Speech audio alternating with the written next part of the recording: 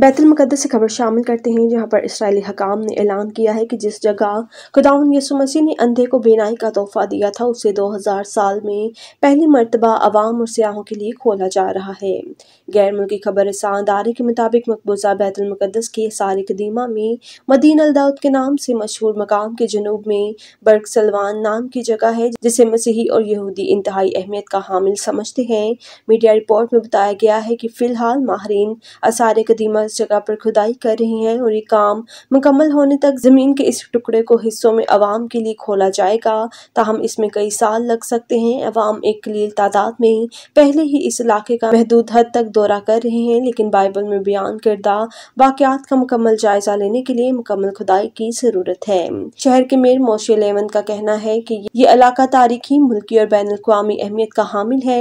इलाका सियाहों और अवाम के लिए खोलने से हर साल लोग यहाँ आएँगे।